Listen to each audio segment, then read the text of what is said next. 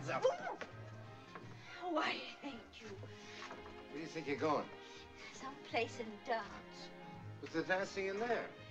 I know, but George is frowning at me, and I can't dance when anyone frowns at me. Shh. They'll go over the wall.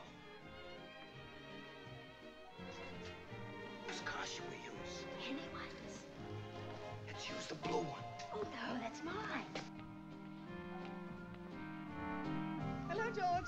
Where's Tracy? Uh, powdering her nose.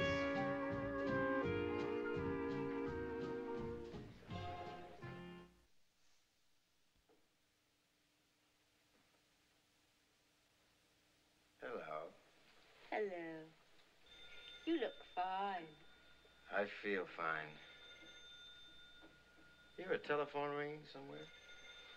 It's my bedroom telephone. it's probably George. You can't marry him. Oh, no. Well, I'm going to.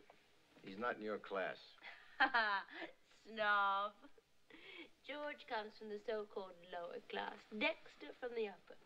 Well, I'll take the lower every time. Sure, as long as you can't get a drawing room. You're insulting. I'm sorry. Oh, don't apologize. Who's apologizing? You are. And if you don't think I'm going to marry sweet old George, you come around tomorrow morning. It's already tomorrow morning. Oh, so it is. Oh, let's not quarrel, Mike. What you need is another drink. That's right.